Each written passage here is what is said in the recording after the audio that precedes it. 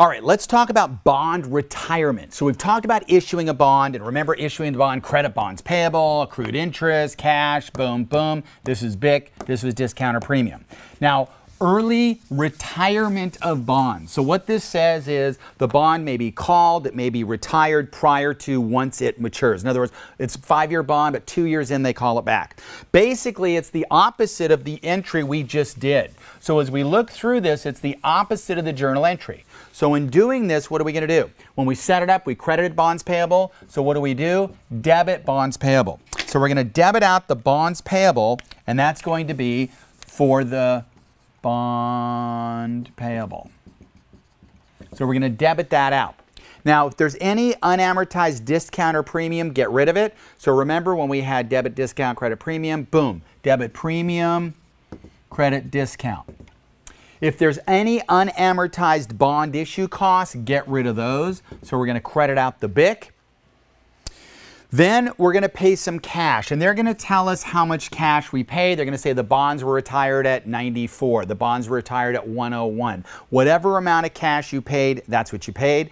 The difference will either be a debit or a credit. And that debit or credit will either be a loss or a gain. Now, this is a gain or a loss. Now, the gain or loss years ago used to be extraordinary. Extraordinary. Remember on the tide, no sea? I like to go surfing where? O N T I D E, no sea. So it used to be extraordinary because, and I'll define this down the road, if it's unusual, infrequent, material, it's extraordinary. Well, what happened is companies would buy back their bonds at huge gains when interest rates were fluctuating quite a bit, and they would bury it in the income statement. So they said, let's separate it out and make it extraordinary. Then as times changed, it said, well, rates aren't that high, it's not that much, let's make it as ordinary. Now they said it could be uh, ordinary from continuing operations, it could be extraordinary. If it's unusual in nature and in frequency of occurrence, they've never done this before, it could be extraordinary. Otherwise, it would be ordinary. So it's either part of ON up at the top, right, and other non-operating, or it's down there, extraordinary net of tax.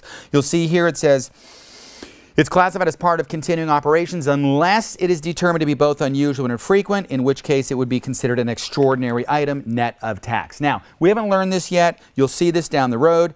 But as we are learning, for example, about extraordinary items, we'll learn all those details. So again, it could be ordinary or extraordinary as far as the bond retirement. All right, but again, just remember, do the opposite journal entry of when you issued the bonds.